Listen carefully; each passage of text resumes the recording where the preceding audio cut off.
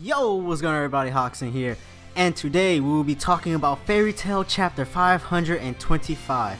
Now, if you haven't read this chapter yet, I really advise you to go read it before looking into this video, because this video, of course, spoilers will be ahead. But anyway, without further ado, let's get straight into this video. Now, this chapter didn't really have much to talk about. Um, it was very short, but at the end it got crazy. But for right now, we're going to be talking about the beginning of the chapter, where basically August kept uttering the same words. Why was his Why was His Majesty's son not loved?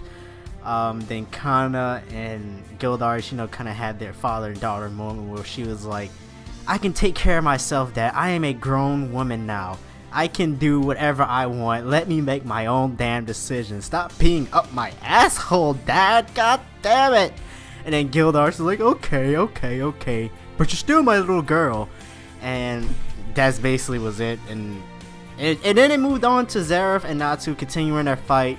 Then the first master called everybody back, told them to retreat, you know, gather together, leave Natsu and Zeref alone, to have trust in Natsu that he will not lose. Of course, Natsu won't lose because this is Natsu we're talking about here, guys. I mean, come on now.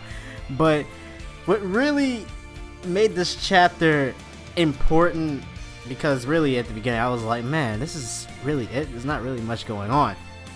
And then Larcade showed up and we was like, wow, he's still alive after getting his ass whooped by Sting, which I did kind of have my feelings that, you know, he was still going to be able to move around because I mean, it was like, why would you put so much attention on him for him just to get beat by Sting and not show up in a chapter ever again or in this arc ever again?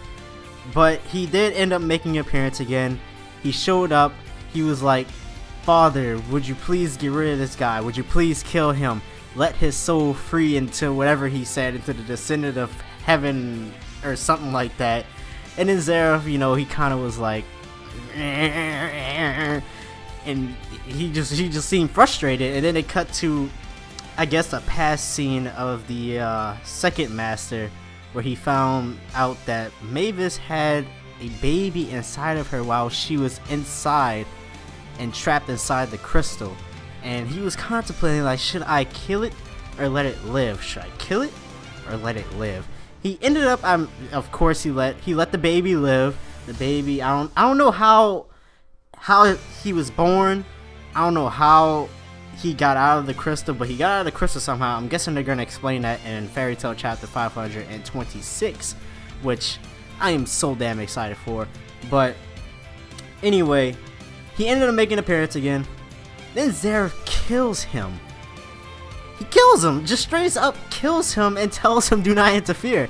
What I understand, why would you kill him and tell him not to interfere? Of course he's not going to interfere if he's already damn dead. But to have that kind of like no remorse at all for your son and kill him was just like okay now we got the Zeref back now we got the badass Zeref that really did not give a shit about anything but fulfilling his goals now the real question is why did he kill his own son now right here I only got one theory for this because I really can't find anything else more on why he would kill him but maybe it was because Larcade was jealous of Natsu and that he wanted to kill Natsu for himself. Now we all know if Natsu dies, Zeref will die too, but maybe Zeref wants, you know, he wants to maybe Natsu kill him. He doesn't want Natsu to die. If Natsu dies, everything will go off charts. His plans will fail. He wants Natsu to kill. Zeref wants Natsu to kill him, and Larcade was going to. I guess he understood what Larcade was going to do that he was going to try and kill Natsu himself. So that's why Zeref killed him. That's really my only theory for this. I really don't have anything else to say. This chapter was very short. It didn't give really much information on anything at all. We'll just have to wait for 526 to come out next week. Find out what will happen.